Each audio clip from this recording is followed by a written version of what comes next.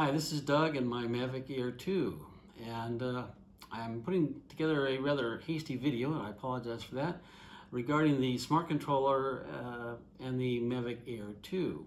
The reason I'm doing this is because I've seen several videos online about the new Air 2S and the smart controller and the stuttery video that you're getting on the screen from the smart controller and everybody has uh, commented about it and uh, several people have suggested you know that OcuSync 3 uh, isn't working well and needs to be fixed and updated and changed and what have you.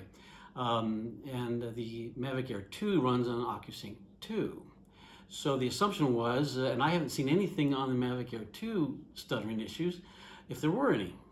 So I went and flew uh, my drone uh, just a few minutes ago to see how my Air 2 was doing and guess what? I don't think it's OcuSync 3. I think it's just the newest download from uh, DJI is not doing well at all with the smart controller.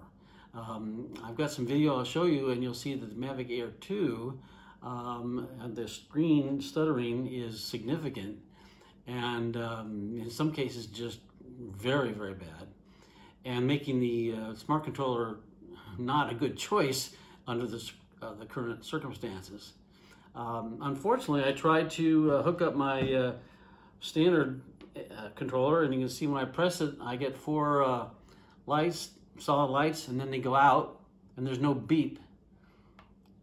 And uh, that's all I'm getting. I, I can't get it to connect. I tried setting it up with my iPhone, um, and this controller now is, is dead. It's been sitting, not being used for several months. Perhaps that's the issue. I tried charging it with three different chargers and four different cables and you know all that stuff you name it. And uh, it looks good when the lights come on and you're thinking yeah you're ready to go but there's no beeping and then the lights quickly go out and no connection is ever made. So I couldn't use my uh, my regular controller to sort of do some comparison tests. All I've got is just the flights you'll see from this one. And uh, take a look see what you think well, here's a shot of my screen showing the uh, current firmware update and all the other uh, updates that I have on my uh, smart controller. Uh, it's uh, as current as you can get as far as uh, as far as I know. So we're ready to go with the latest. here's showing my battery is 98% and ready to go and get the Fly app going. And I don't know if this is long or to be expected, but it took 16 full seconds uh, to load this uh, the Fly app seemed a little long to me. Just thought I'd mention that. And we can get some uh, Adobe software if we want. Good for us.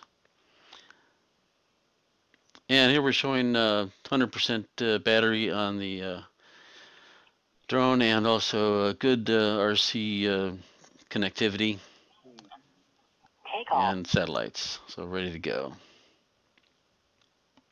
This first clip, and I pardon the the gimbal, sloppy gimbal work here, but uh, this first clip is from the Air 2 camera, and uh, it's relatively steady. Can as you can see, uh, pretty smooth. I, I thought it looked good.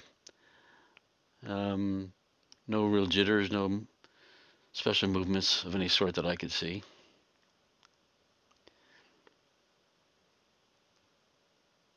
And then we come to the uh, second clip. This is from the smart controller downloaded off the SD card and uh, look at the, the, the, the jitteriness, the bumpiness, and the distance numbers are bouncing around uh, and skipping large tracks of numbers here. So this is a current theme or a theme that, that follows throughout the uh, on the videos from the smart controller. This is just a simple yaw with the Air 2 camera, and there is a little little bump in here from the from the Air 2 right there. Uh, not happy with that, but uh, it is what it is. The rest of it is nice and smooth, I think, and looks uh, look pretty good. These are in cine mode, by the way, as you can see from the upper left. This is the uh, smart controller, and this is you know just jittery and bouncy, um, not smooth. It, it's certainly flyable, I suppose, but uh, not smooth at all. And here we're going uh, forward with a uh, slight yaw turn at the end here to the left with the uh, footage from the camera itself.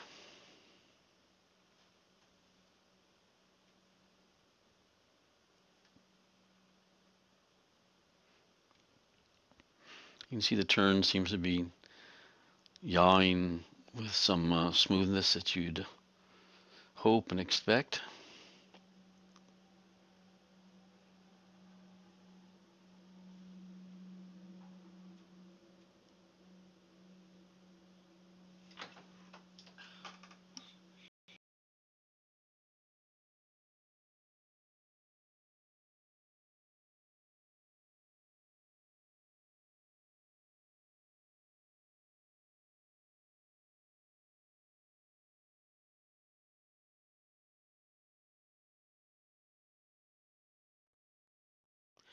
Now here we have the same flight, uh, same footage I should say, but from the smart controller video download.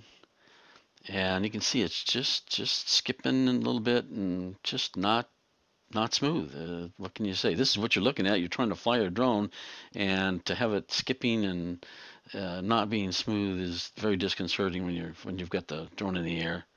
It's uh, unsettling to say the least on the yaw turn again. I think the yaw seem to really amplify or amplify the the skipping. They really see it here, in my opinion.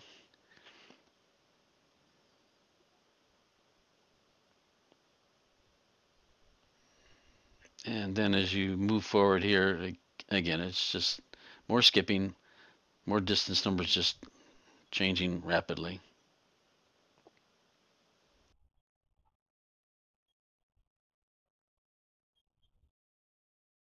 And we'll finish off here with some quick riaz from the camera and then these uh, the smart controller videos. And these yaws are absolutely horrendous.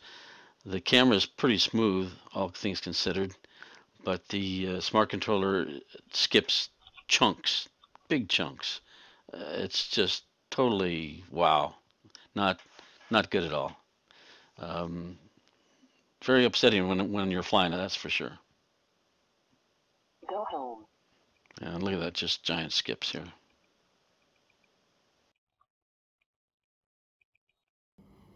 Okay, well, you saw the results, and uh, in some cases it was just unbearable. Uh, you know, you, you're using a controller to fly your drone, and you've got to get consistent, solid viewing of your your flights. And um, as soon as you start to lose that, you lose confidence in your flights, you lose confidence in the drone, and uh, you just hope it's going to go where you want it to go. Again, I, I think the latest firmware update uh, that's uh, applying to the smart controller, whether it be the Air 2S or the Mavic Air 2 or who knows what else, other drones it's uh, messed up with, is not functioning properly and needs to be corrected. Um, I checked today and there were no software updates. So uh, something something's got to got to give here, and I hope they uh, come up with something new, not just for the Air 2S, which is the, the hot puppy right now, but for uh, all the drones that are using the smart controller. Anyway, thanks for watching, appreciate it, and I hope this helps somebody out there.